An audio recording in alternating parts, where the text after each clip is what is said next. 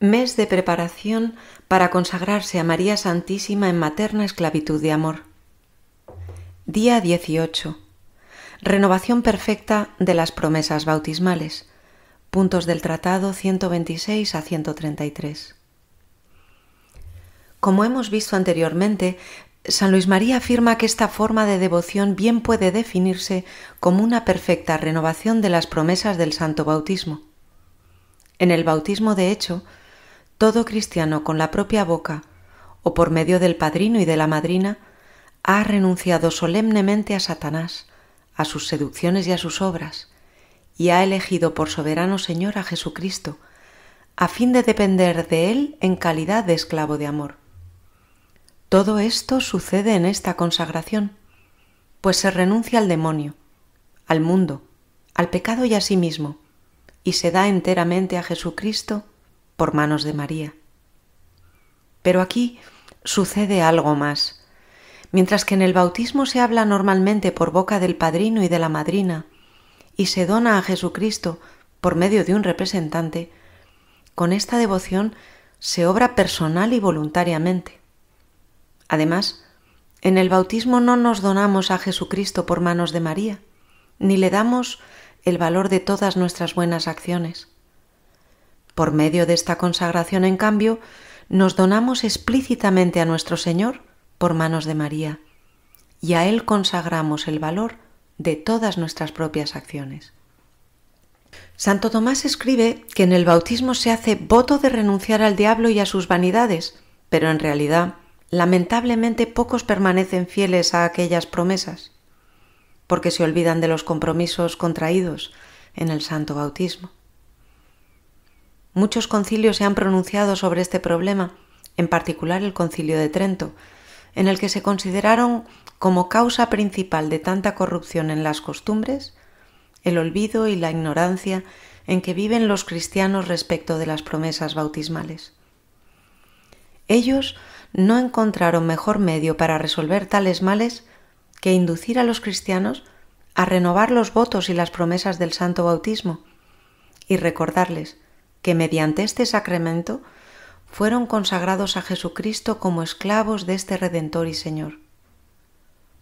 Ahora bien, ya que el concilio y los padres de la Iglesia han subrayado la importancia de renovar las promesas bautismales, es razonable entonces que se cumpla perfectamente con una total consagración a nuestro Señor por medio de su Santa Madre. Decimos de manera perfecta porque para consagrarnos a Jesús utilizamos el más perfecto de todos los medios, la Virgen Santísima. Respuesta a algunas objeciones. San Luis de Montfort termina respondiendo a algunas objeciones que se le podrían poner a esta devoción. A. Si alguno objetara que esta forma de devoción es nueva, le responde diciendo que no lo es en cuanto a que los concilios, los padres y varios autores antiguos y modernos hablan de tal consagración a nuestro Señor o de la renovación de los votos del santo bautismo.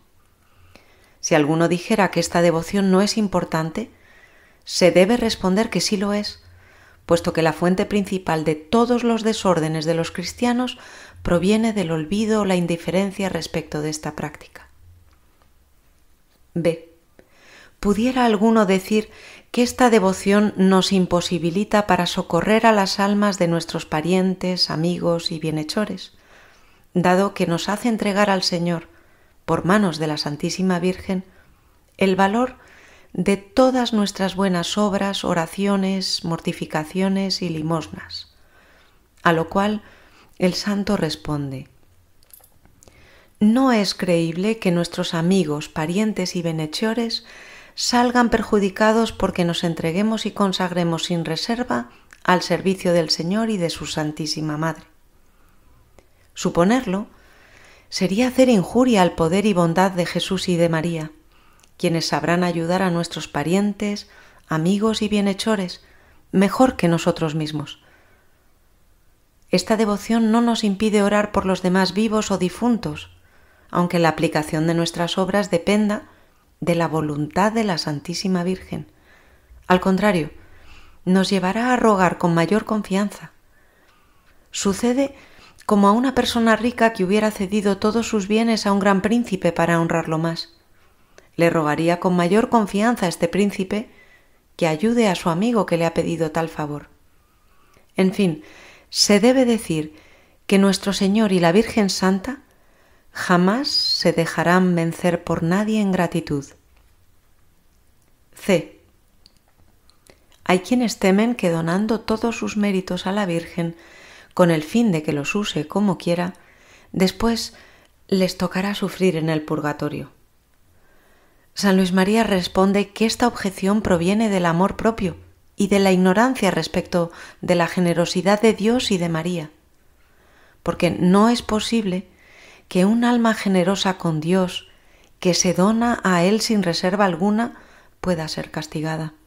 Aún más, ante un alma así, Jesús y María serán generosísimos en este mundo y en el otro.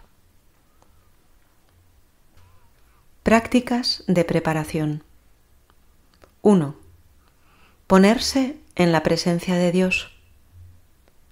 2. Pedir la gracia de tener un gran conocimiento de nosotros mismos. Que me conozca, Señor. 3. Lectura. Dios nos mira siempre, aun cuando pecamos. De San Alfonso María de Ligorio Vía de la salud.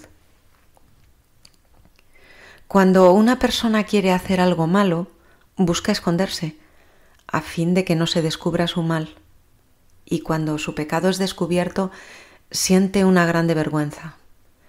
El pecado es como darle bofetadas a Dios, como escupirlo en la cara.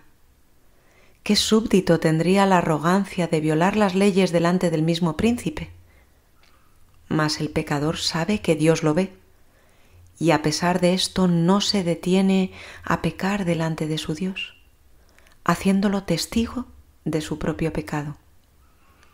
He aquí por qué la vida de nuestro Redentor fue así de amarga y penosa, porque Él, nuestro amado Redentor, tenía siempre delante de sus ojos nuestros pecados.